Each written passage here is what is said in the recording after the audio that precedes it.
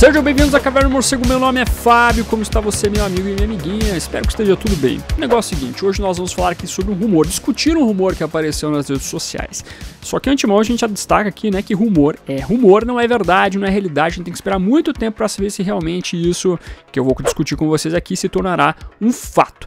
Mas, de qualquer maneira, o RPK, um insider aí que acerta e erra ao mesmo tempo, colocou aí no seu Patreon pra galera que paga ele lá, e a galera divulgou nas redes sociais que a Warner talvez estaria pensando, fomentando a ideia de fazer um spin-off da Arlequina da Lady Gaga, que nem, a gente nem viu a Lady Gaga como Arlequina, mas já estão pensando no spin-off, veja só. Dando aquele contexto, caso você não esteja a par de nada que envolve cultura pop aí, nós teremos o Coringa 2 em 2024, né? O Joker Folia Do, onde o Joaquin Phoenix, ou Joaquin Phoenix, voltará ao seu papel de Coringa e ao mesmo tempo nós teremos então a Lady Gaga interpretando possivelmente a Arlequina. Ainda não saiu nenhuma sinopse oficial que realmente a Lady Gaga será a Arlequina, hein?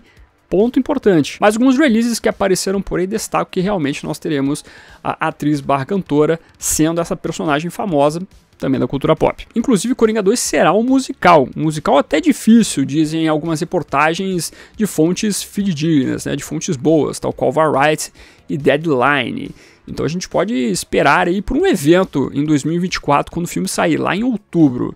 Fica a dica. Mas aí, a gente já pode pensar no spin-off de uma Arlequina vivida pela Lady Gaga? Será que já dá para pensar nisso? Será que a Warner não está se adiantando?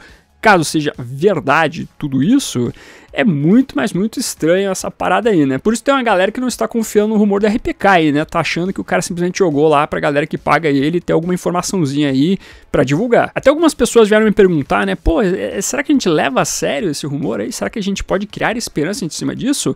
Olha, primeiro, no, por rumor a gente não cria esperança, tá? A não ser que você goste muito de um rumor, mas mesmo assim você não leva em consideração isso, você não se apega a ele. Porque tem muita chance de você dar com a cara na porta, porque tem muita gente aí que fomenta algumas mentiras. O RPK é um cara que eu já duvidei muito da, do que ele coloca nas redes sociais mas ao mesmo tempo, coisas que eu duvidei, ele acertou, né? Por exemplo, ele dizia lá que o Coringa ia aparecer no filme The Batman, que inclusive o Matt Reeves estava considerando não colocar a cena do Coringa no filme. Eu falei, nah, impossível. Se o cara vai filmar o Coringa não vai colocar no filme, não faz sentido. E dito e feito apareceu, né? Então, olha aí.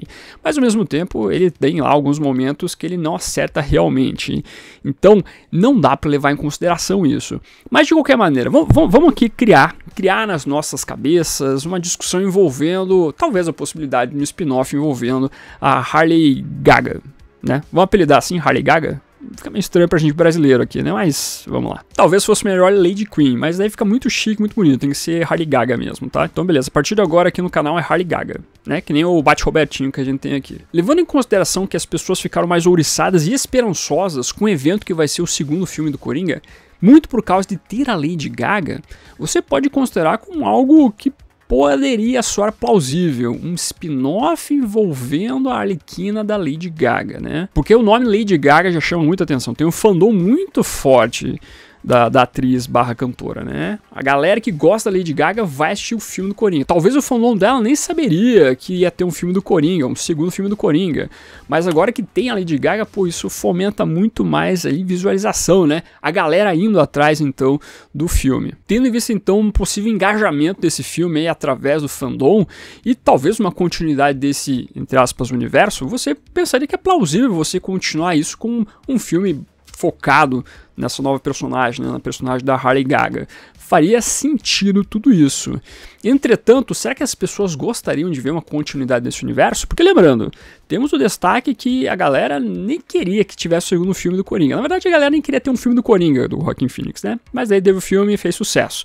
Agora tem essa segunda possibilidade aqui da galera se encantar aí com o musical. Então pode ser que a gente vá discutir toda essa questão falando, não, não precisa de um filme da Harley Gaga, porque não faz sentido, não precisa continuar esse universo. Mas daí tem, a galera se encanta, então é sempre esse círculo vicioso aí. Então, com as peças que envolvem esse filme do Coringa, com esse engajamento que envolve inclusive a atriz barra cantora, eu não acharia improvável, impossível ter um filme solo da Arlequina da Harley Gaga. Comercialmente tem uma lógica gigantesca. A não ser que a personagem da Lady Gaga, a Arlequina da Lady Gaga, seja um dos piores personagens no segundo filme do Coringa. Ninguém goste do que a gente vai ver lá, né?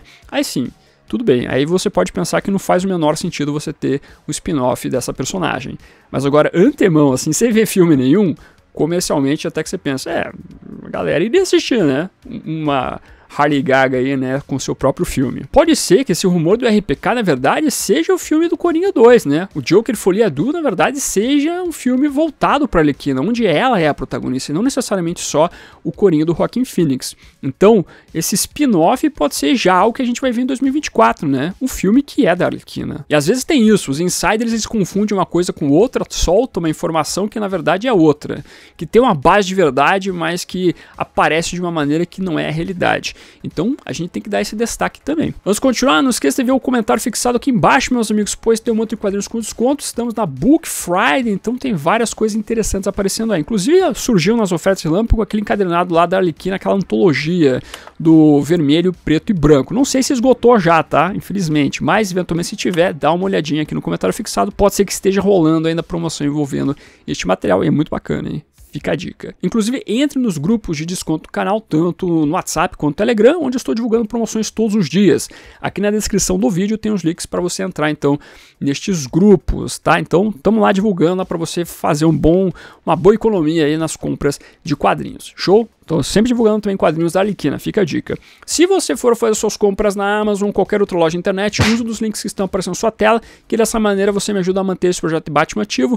Meu muito obrigado. E lembrando, até o dia 22, Book Friday rolando, ofertas relâmpago, então fica a informação e compre o link do canal, por favor. Mas diante dessas questões todas e deste rumor, rumor, será que o público também quer ver as aventuras de uma outra Arlequina? Ou quer ver, por exemplo, só as aventuras da Arlequina, que é da Margot Robbie, né? Que tem essa personagem também, né? Não há a impossibilidade de você ver duas Arlequinas surgirem em filmes, né? Você tem um multiverso para explorar isso. Você pode ver vários tipos de um mesmo personagem. Tá acontecendo com o Batman, né? Nós temos o Coringa do Joaquin Phoenix, vai ter o Coringa também lá do Barry Keegan. Então você tem essas diversas interpretações. O próprio Batman tem isso. Então não seria diferente você ver em relação à Arlequina também.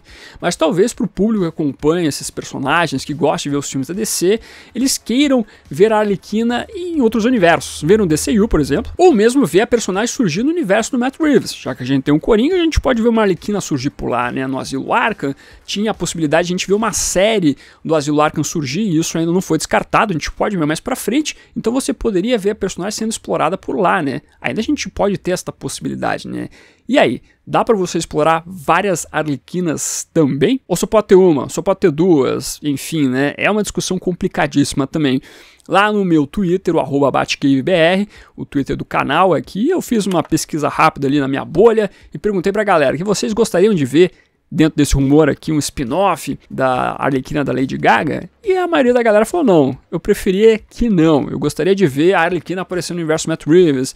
Eu queria ver outra Arlequina, mas essa tendo em vista o filme do Coringa, que fique só no filme do Coringa e não que vá mais pra frente com a personagem. É interessante pensar que a Arlequina da Margot Robbie, ela é muito famosa, a galera gosta bastante, mas se você pensar na questão de filmes, até então ela não deslanchou especificamente, né? Nós tivemos o primeiro filme do Esquadrão Suicida, que foi um sucesso de bilheteria, né? Não foi um sucesso astronômico, mas foi um sucesso, ela fez um dinheiro bacana. Mas foi um filme que é muito criticado negativamente. Aí você teve Birds of Prey, ou Aves de Rapina, que o filme foi criticado de maneira positiva. A mídia, a, a, os veículos de reportagem gostaram bastante do filme, mas ele bombou na bilheteria especificamente. Aí teve o Esquadrão Suicida do James Gunn, que é um filme que é muito elogiado. A Arlequina tem uma boa participação também lá, mas também deu uma fracassada na bilheteria por vários fatores, né? Não necessariamente pela qualidade do filme, mas sim por Covid, por HBO Max e não sei mais o que. E a gente não vê um fomento gigantesco da volta da Margot Robbie sendo Arlequina, né? De vez em quando James Gunn dá umas pistas que gostaria de trabalhar com a personagem, com a Margot Robbie,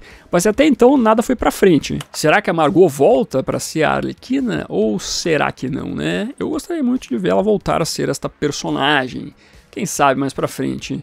Enquanto isso, a gente vê a Arlequina sendo explorada de outra maneira por outra atriz. Enfim, eu gostaria de ver várias Arlequinas aparecendo. Quanto mais a personagem aparecer nas suas várias formas, eu vou achar interessante.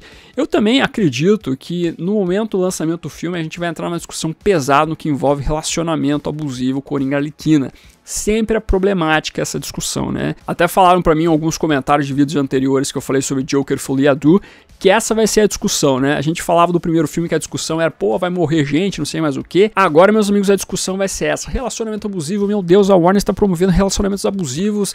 Meu Deus do céu, não pode isso, tá de sacanagem. Essa vai ser a grande discussão pra galera afirmar e não assista esse filme, pra depois ir assistir e fazer bilhões aí, né?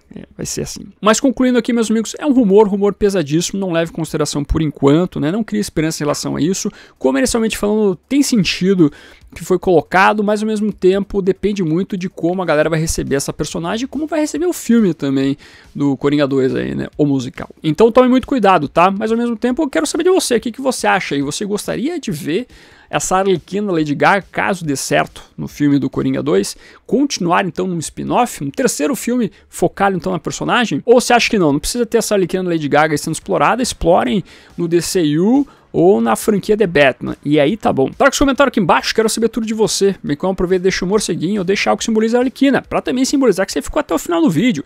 E muito obrigado. Curta, compartilhe, se inscreva no canal se você é novo ou nova, marque o sininho para ser notificado nos vídeos. Esse vou ficando por aqui. Como sempre no final do vídeo nós temos os membros do canal, a galerinha que mantém este canalzinho aqui de pé. Agradeço demais a colaboração de vocês, bem como de você que faz suas compras através dos links da Panini, Amazon, Magazine Luiza, Submarino e assim por diante. Meu muito obrigado como sempre e se você está chegando agora e quiser ajudar o canal, os links estarão na descrição. Aproveita que você está aí, meu amiguinho, dá uma olhadinha no vídeo que está aparecendo agora. É um vídeo que vale o seu clique. Agradeço a sua companhia, até a próxima e fui.